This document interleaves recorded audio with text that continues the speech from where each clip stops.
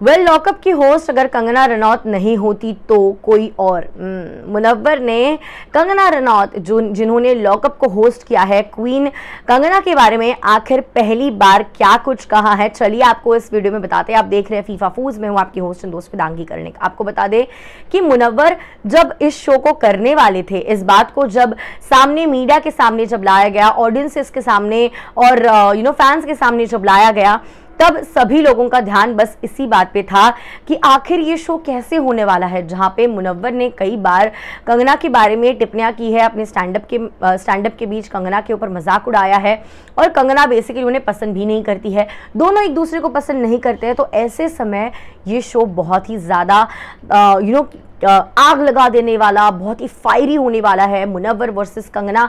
इसके लिए लोग डेफिनेटली देखते हुए नज़र आए। इनफैक्ट शो के पहले ही एपिसोड में ग्रैंड प्रीमियर में ही कहीं ना कहीं फायर दिखाई दिए दोनों के बीच और दोनों एक दूसरे के ऊपर जो है ताना मारते हुए या एक दूसरे के ऊपर जोक मारने की कोशिश करते हुए नज़र आए। अब इस सबके बीच शो का विनर मुनव्वर ने पहली बार अपनी चुप्पी तोड़ी है और कंगना रनौत के बारे में एक बहुत बड़ी बात कही है। चलिए आपको इस वीडियो में बताते हैं। मुनव्वर से जब पूछा गया कि आपका एक्सपीरियंस कैसा था? कंगना रनौत के साथ काम करने का क्या आपको कभी लगा था कि ये शो करूँ, नहीं करूँ? क्योंकि ऑब्वियसली यू नो वहाँ पे कंगना है और कंगना और आप अलग अलग आइडियोलॉजी से बिलोंग करते हैं। तो उसके ऊपर मुनव्वर जो है अपनी चुप्पी तोड़ते हुए, कहते हुए नज़र आए कि आई एम वेरी ग्लैड कि मैंने लॉकअप किया। मैं बहुत खुश हूँ। कंगना एक बहुत ही प्रोफेशनल होस्ट है, एक बहुत ही प्रोफेशनल पर्सन है और उनके साथ काम करके मैंने बहुत सारी चीज़ें सीखी है। सो आई एम ग्लैड कि मुझे कंगना के साथ काम करने का मौका मिला। एंड जब आप ऐसे किसी के साथ काम करते हो, तब आपको रियलाइज़ होता है कि बॉस हमारे इंडिया की डेमोक्रेसी कितनी ज़्यादा अमेजिंग है। एंड अभी भी डेमोक्रेसी जो है अलाइव है, जहाँ पे दो डिफरेंट आइडियोलॉजी के लोग भी एक साथ को एग्जिस्ट कर सकते हैं।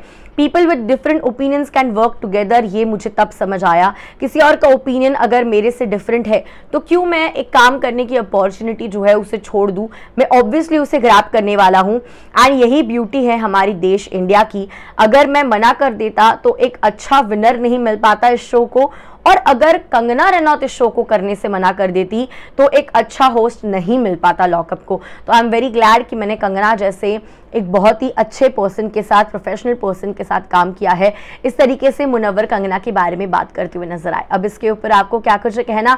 मुनव्वर और कंगना की जो जर्नी रही थी स्टार्टिंग में एक लव हेट रिलेशनशिप था और एंड में डेफिनेटली एक रिस्पेक्ट और एक प्रोफेशनल और you can say in a loving वे भी देखने मिला है ऑन द फिनाले डे और बीच बीच में जब भी मुनवर कुछ अच्छा करते थे, कंगना डेफिनेटली उन्हें अप्रिशिएट करती थी तो कहीं ना कहीं उनका लव हेट रिलेशनशिप अब लव और प्रोफेशनल एंड बहुत ही ज़्यादा कॉर्डियल हो चुका है। इसके ऊपर आपको क्या कुछ कहना? कॉमेंट्स में ज़रूर बताइएगा। मिलती हूँ आपसे थोड़ी देर में। अपना ख्याल रखिएगा।